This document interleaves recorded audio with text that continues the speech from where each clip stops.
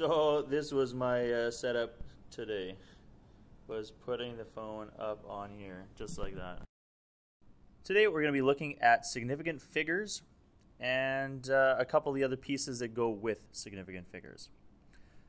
One of those would be determining why we need to know how many decimal places we have in a final answer. And that comes down to both accuracy and precision of the measuring tools that we're using. We don't want to be too uh, precise with our answer where we have five decimals when we were only given maybe a one decimal place for, for our measured values prior to making the calculation. So we want to make sure that we are being congruent or that we're being consistent in what we're doing. Here's one scenario that will help you understand where and why we use the rules we learned about significant figures in the real world. Let's pretend you're hired as a chemical technologist for a company that produces pharmaceuticals.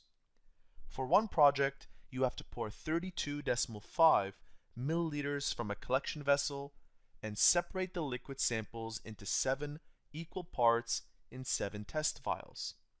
Using a calculator, you calculate the size of each sample by dividing 32.5 milliliters by 7, and you end up with the number that you see on your screen.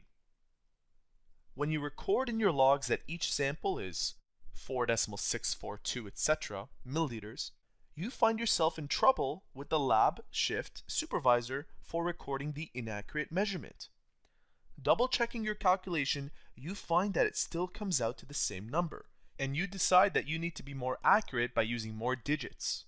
Using a calculator with a larger display, you decide to record a number that's even longer, such as the one you see on your screen. We have an extra 86 at the end. Again, an email arrives the next day encouraging a more accurate measurement.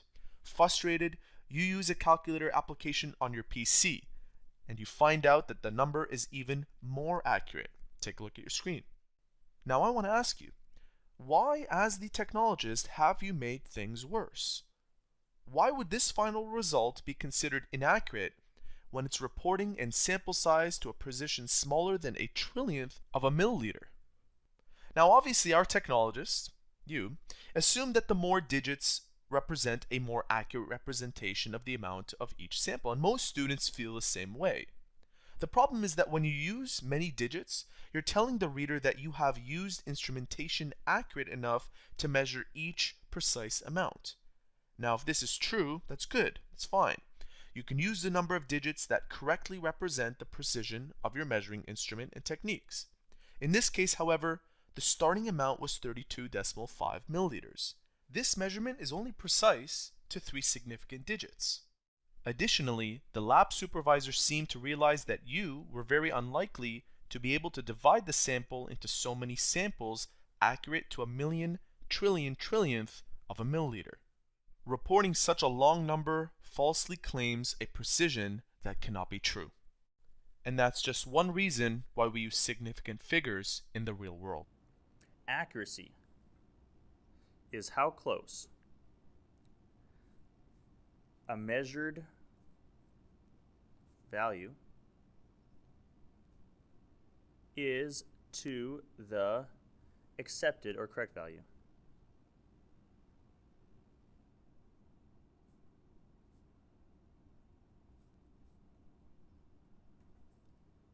Precision, how reproducible your measurements are.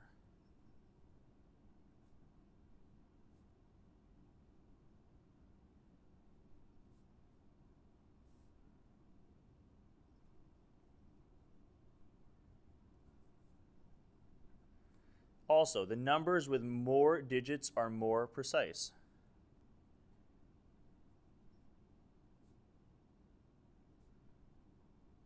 And this is width is W with a little line over top, more digits. And I would say after the decimal are more precise.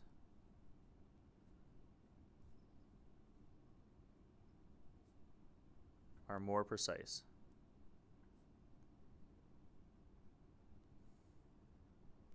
So accuracy, you're looking at how close a measured value is. So if you measure something and you're like, okay, it's supposed to be two meters, and is it close to two meters? Is it 2.1 meters? Is it 2.01 meters? The closer it is to that exact value, the more accurate uh, the measurement is.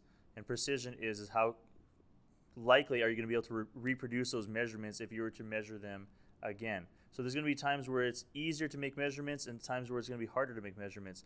What would be hard to, to make an accurate measurement would be to drop something and then with you and your stopwatch clicking when you let go of the object to when it lands on the ground. That's not going to be the most precise way of measuring something. You're going to have values that will be off and your precision might not be as much as it could be. Your accuracy on that particular example could be off based on your uh, theoretical calculated example. We could use formulas to figure out how long it would actually take for an object to drop. And we could then say, well, okay, what did we actually calculate it to be based on what we timed it to be? And then the difference between that would be how accurate was that experiment going to be. Um, if you want to talk about something that is relatively accurate uh, with an average, talking about maybe, say, uh, a target over here, something that would be maybe like a high degree of average accuracy is maybe something like this, where if you average all these out, you're going to have something that's very, very accurate. So, uh, accurate if you're taking the average. The next one, we're going to be looking for something that is precise but not accurate. So something that's pre- precise and not accurate would look like this. So all the measurements, or in this case, the, the hits on the target are very close together. So they're all very much similar. So if you were to reproduce the measurements, you're going to be relatively the same. The unfortunate thing is, is that they're a little bit inaccurate uh, based on what the true, true value is. So this is precise but not accurate.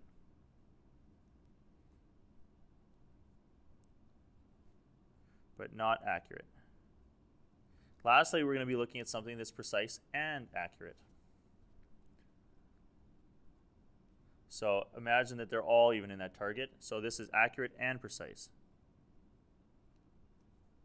And precise.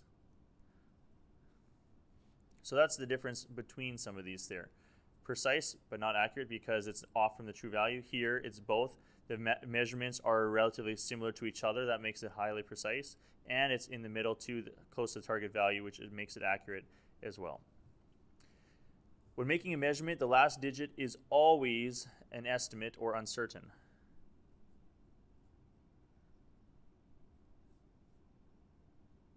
And there's always a little bit of uncertainty when you're dealing with uh, significant figures. And again, the purpose uh, to deal with like significant figures is to determine well, we want to express our answer in a way in which it's representative of, of the actual answer. So we don't want to be adding too many decimal places, and we also don't want to be neglecting and removing some of those decimal places that could help explain what our final answer is. We want to be precise and accurate with our final answer.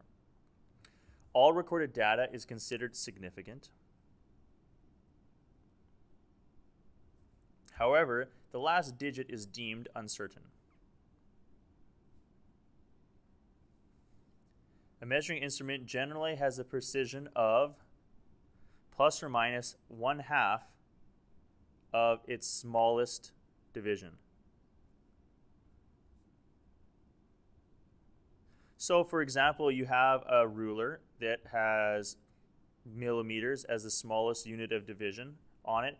That means it's going to be precise to within half of that value. So, plus or minus half of a millimeter.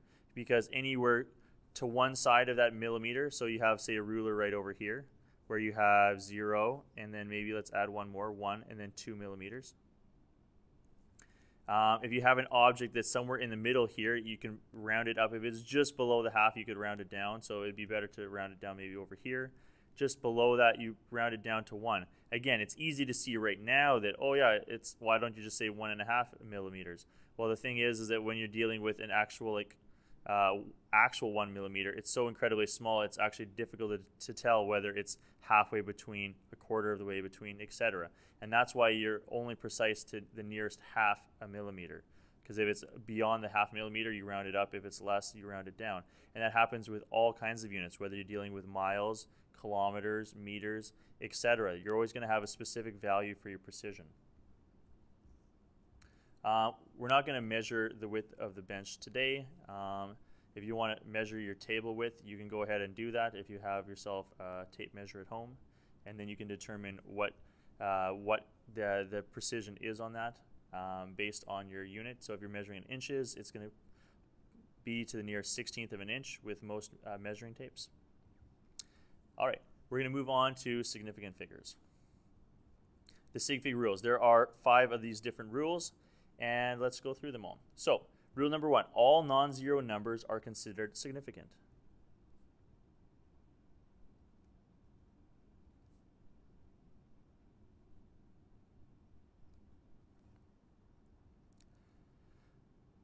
So, anything, and again, we're, we're talking about, uh, in this case, the number 321.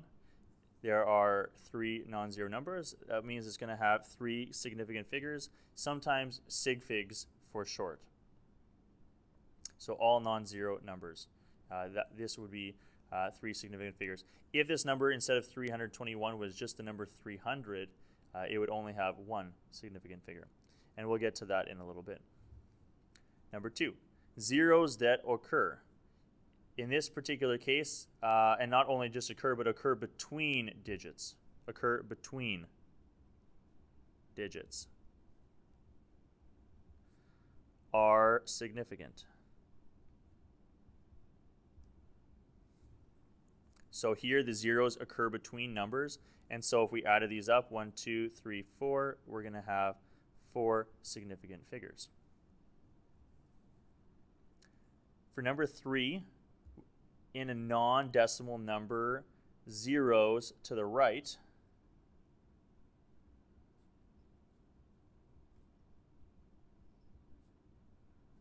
of other digits are not significant.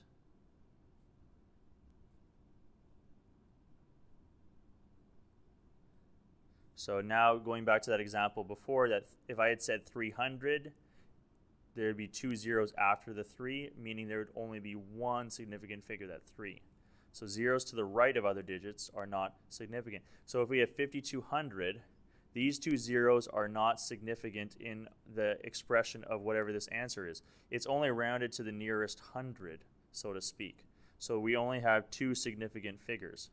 So if we were to round values, we'd be rounding them to the nearest hundred over here. Here we'd be rounding them to the nearest one because there's four significant figures. Here there's three, also to the nearest one. The fourth rule, zeros to the left of the first digit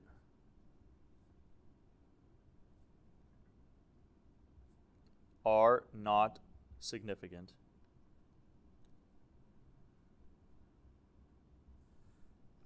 So zeros to the left of the first digit. So the first digit is going to be the 8. So like other than a 0, so the non-zero.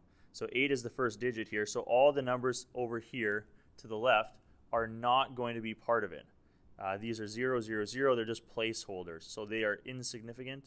We have two significant figures here, the 8 and the 5. Lastly, in a decimal number, zeros to the right of the last digit are significant. So zeros to the right of the last digit are significant. So after the decimal, the zeros count. Before the decimal, like here in 5200, they do not count. Here, they're just placeholders. All right, we'll just I guess, continue teaching in the dark. Oh, there, the lights go back on. 2,500. So in this case, here's a decimal. These are uh, no longer placeholders. They are actually significant values. So you're saying that this is to the nearest 10,000th uh, place. So you have the, the tenths, the hundredths, the, the thousands, the ten thousandths. And so it's, it's precise to the nearest 10,000th, or even half of that value, right? So we have four significant figures in this particular case here the zeros uh, matter. How many sig figs are in each number? Uh, at this point here, just pause the video and try these first eight examples. Welcome back. We'll now take a look at whether you were correct or not. So this first one here, 1, 5, the two zeros over here appear but like with they're, they're not after the decimal. So if they're not after the decimal, they do not count. We're looking back to uh, rule number three in a non-decimal number. Uh, the zeros to the right are not significant. So we're going to have only two significant figures here. Here the zero appears between numbers, so it will be included in the sig figs. And we have one, two, three, four. Here the zero does not count as it holds a place for the two values right over there, the three and the four. Same thing here. These zeros are just placeholders. That goes down to rule number four. Uh, the first digit, the zeros don't count uh, to the left of the first digit. So the first digit is a three, then the nine. So again, we have two. The next one is only one. Here, it's the eight plus those two over there. So it's a total of three. This one here, it's the 3, 6, and the 0. The ones over here are placeholders. These are the significant values. You have 3 as well. And this last one, because there is a decimal, it's all of the numbers that, uh, that precede the 2 over here will be included in that. Um, so it's 1, 2, 3, 4, 5, 6. There are actually 6 significant figures right over here. So it very much does matter. Like including this decimal over here allows these zeros to actually count. Without that uh, decimal, uh, those zeros wouldn't actually count. So zeros to the right of the last digit are significant in a decimal number. This is a decimal number here. And then there's a couple rules because again, we are going to be multiplying and dividing when we're using different formulas. Uh, specifically in, in our, uh, well, two units from now when we deal with kinematics, there's going to be a lot of multiplying, dividing, adding, subtracting. So what do we do in some of those situations? Well, when multiplying or dividing numbers, our final answer is always rounded off to the least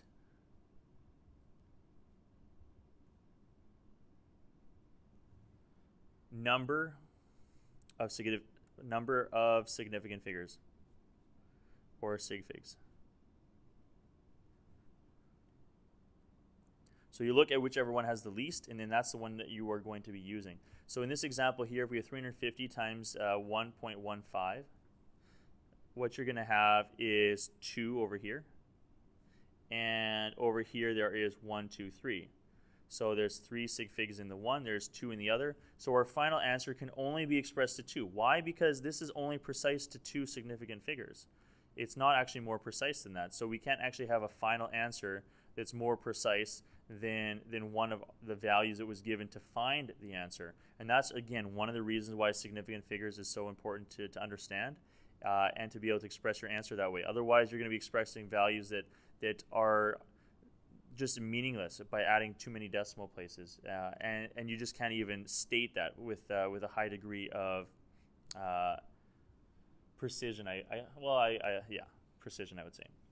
So multiply this out. What do you end up getting? You get 402.5, but if I was to express my answer like this, I actually have four significant figures right now, and so I need to have only two. So what I will do is the following. In order to get 2, because if I was to round this to 400, for example, I would only have one significant figure. And so the way to get two significant figures would be to do this. So instead of just expressing it as 400, I'm going to go 4.0 times 10 to the power of 2. So this is 400. If you were to go 100 times 4, it's 400. But uh, now I have two significant figures. I have the 4 and the 0 because it's after the decimal. So if it had been before, it wouldn't have counted. So this is the way to express uh, this answer right over here with two significant figures. The next one, here we have 4 because there's a decimal, so all these zeros count. Here we only have 2 because there's no decimal, and so only the 1 and the 5 are significant. So again, our final answer will only be with, uh, with two significant figures in this particular case. So what we end up getting if we were to multiply this out is 30,000 and 30,000 is only one significant figure. And so we need to find a way to get two significant figures. So the way to do that is, again, write it in scientific notation, and we bring it over four places. It's greater than 10, so it's going to be a positive value, and we moved it over four places, so it will be raised to the power of 4. On our final value right over here, we have a very, very small number. Again, these first two zeros are placeholders. They do not count uh, for significant figures. 2695. There's four here. In this one, only one. And so our final value is only going to be one significant figure. If we did actually multiply this out, you would get an answer of 2695. But if we're expressing it with significant figures, you're going to have a final answer of 0.3. You only want one significant figure, not four. All right, and that's based on the fact that you are multiplying by 100 over here. Because this 100 is not, not nearly as precise as this right over here. Uh, next, adding and subtracting. When adding or subtracting numbers, our final answer is always to the last digit found in both. To the last digit found in both.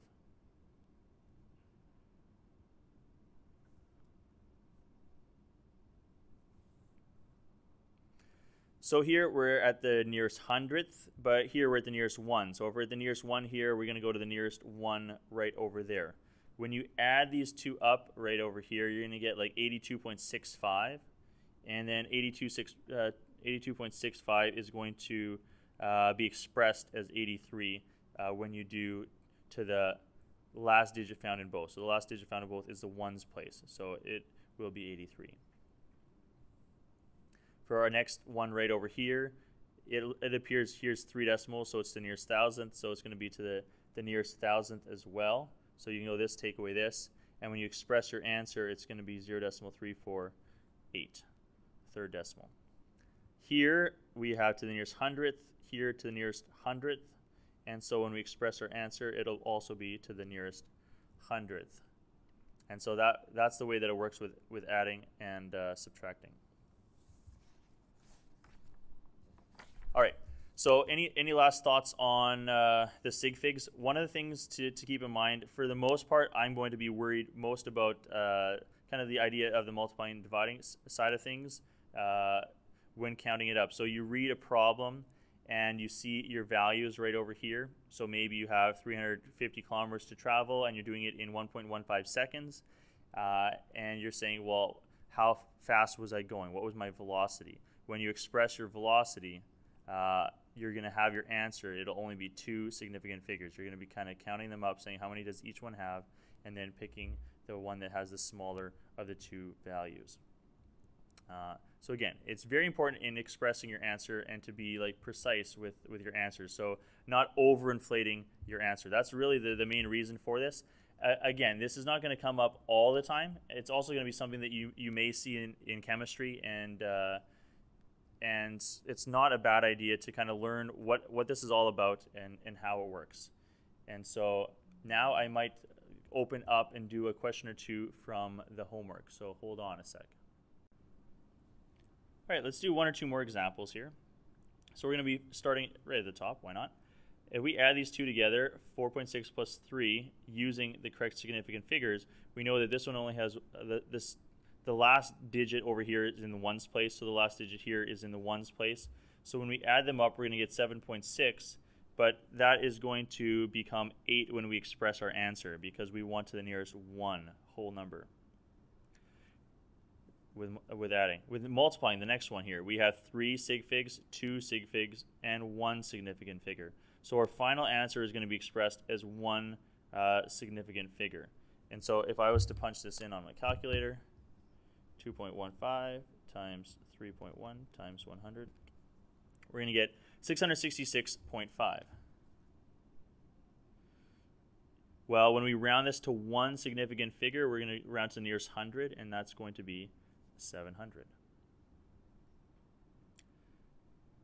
All right, uh, let's jump down perhaps a little bit.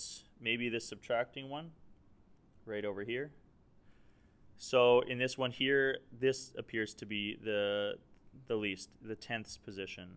So tenths here, tenths, tenths. And so we're going to be subtracting all these values right over here. 74.16, take away 4.8, take away 0.47, and you get 68.89. Now when we express our answer, we want to the nearest tenth, and so we will round that 8 up to a 9, 68.9. And is there any dividing ones on here? No, there is not. So let's do one more multiplying one. Maybe this uh, one right over here. 65 times this number here. So we have two significant figures here. on this one here, placeholders, so we have three significant figures right over there. 65 multiplied by 1, 2, 3, 8, 3, 7. We're going to get a number of 0.0544 and change. But we want only two significant figures. Right now we've expressed with three significant figures. So we're going to have a final answer of decimal 054, and that'll be two significant figures. Hopefully that helps, and uh, good luck with the significant figures. We will now take a look at the angles. So you guys have a chance to then do this page and the other one right over here too.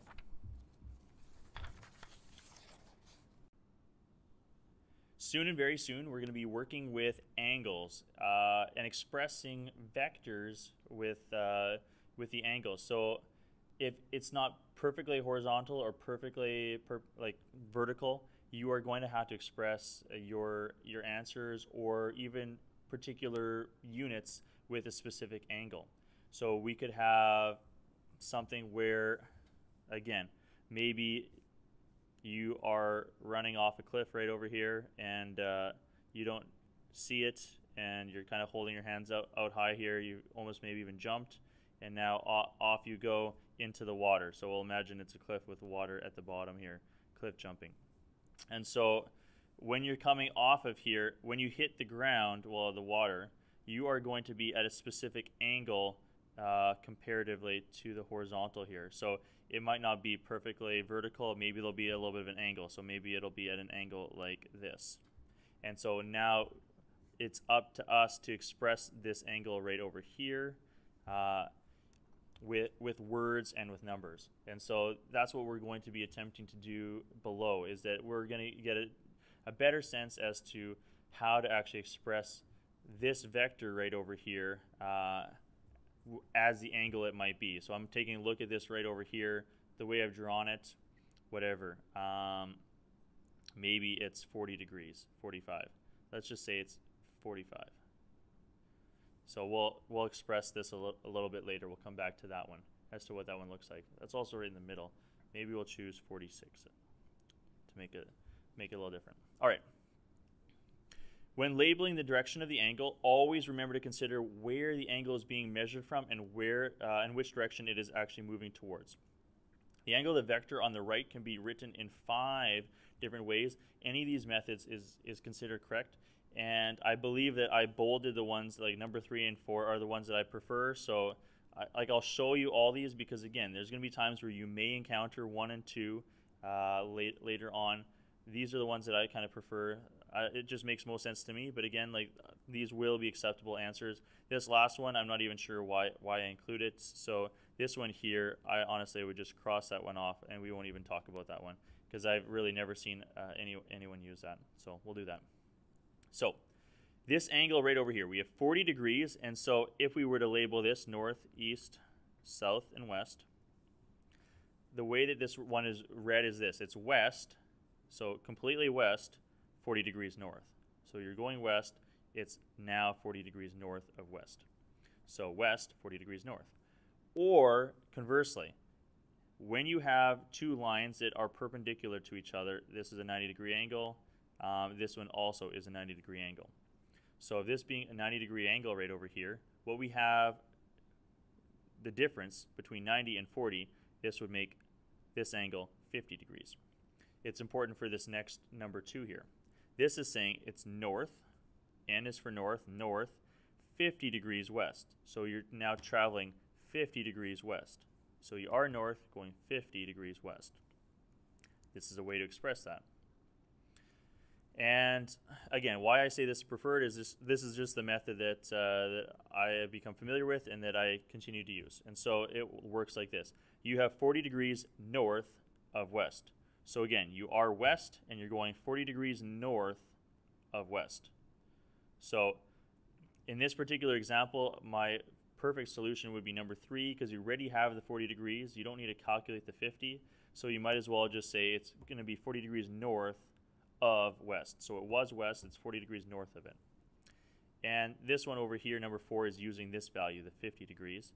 And it's saying, okay, I was north and I went 50 degrees west. So it's 50 degrees west of north. So 50 degrees west of the starting point being north.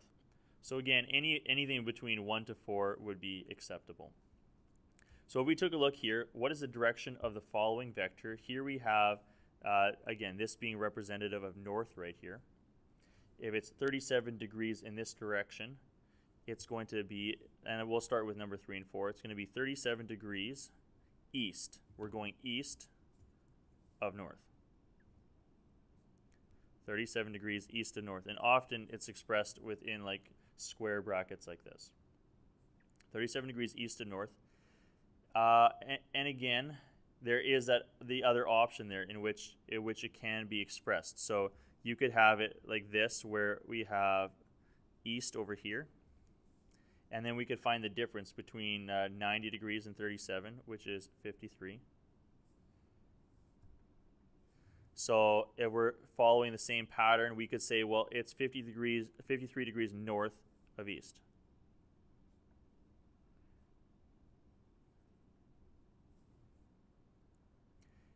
So again, the two preferred methods, if you want to work with one of the other methods, that's going to look like this. You're saying it's, let's look back to the original 37 here. It's north, 37 degrees east.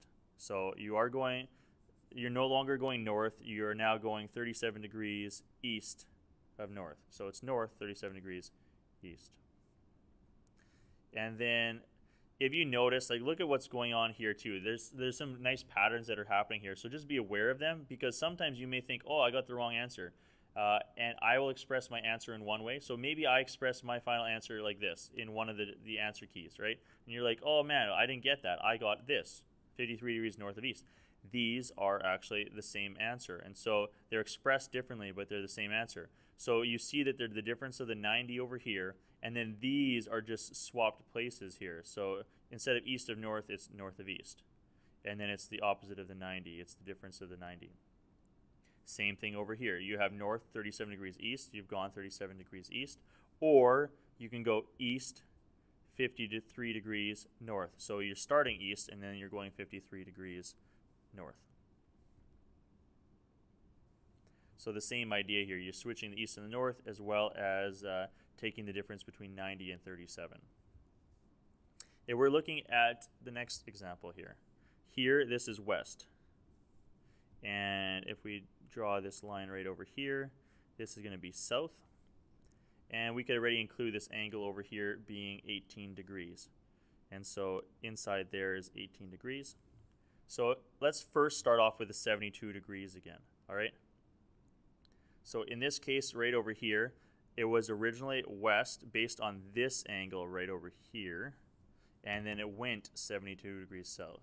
So it's going 72 degrees south of west. It was once west, it's 72 degrees south of that.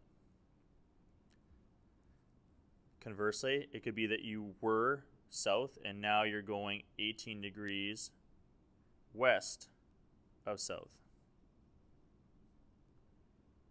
And again, what have I done? I've swapped the west and south as well as the finding the difference between 90 and 72. You can begin to see a pattern here. If we're talking about the first method right over here, it's west 72 degrees south. or south 18 degrees west. So again, maybe take a pause, try to see if you can actually write down all four of them. And now if you're back, this is the way it's going to look here. So I have east, I have south. If this is 41, I'm going to have, I'm gonna, I'm going to have 49 degrees over here. Let's start with our given, this one right here. So it's gone 41 degrees east of south.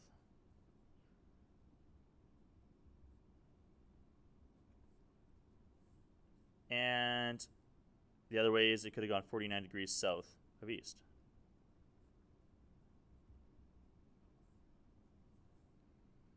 And then take, taking these same values as before, we're looking at the 41 degrees here.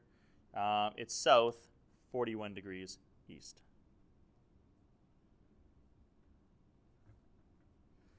Or lastly, it was east, east, 49 degrees south.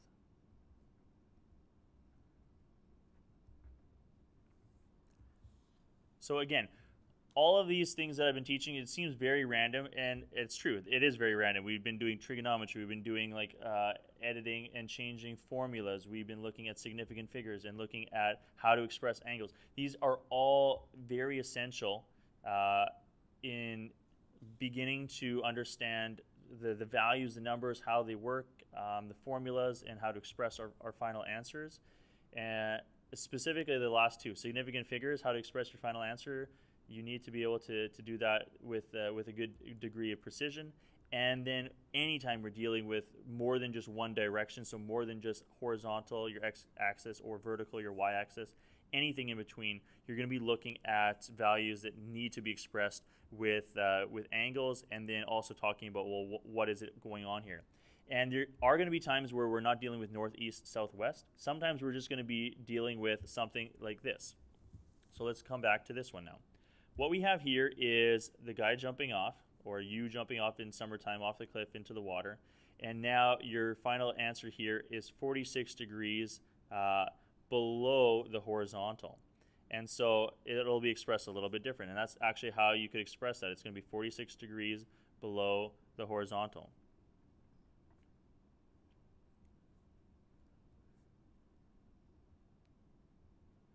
And so there's no no more ways in which you need to really describe that. You can just say, boom, th- this is it right right over here, and uh, and leave it at that. So you don't need three, four different ways to express it. You can just say one of them. So you might not have known exactly what direction this person was. I never said they were going east, north, south, west. So if that's the case, we can just say, well, here is like a uh, flat line. So the horizontal, how many degrees below the horizontal? And if we had shot something into the air, we could have then said X number of degrees above the horizontal. And, uh, and that's something else just to, to keep in mind as we go forward. So good luck with your, your homework. Hopefully you learned a thing or two. Uh, it is very valuable and, uh, and have fun. That's the most important thing.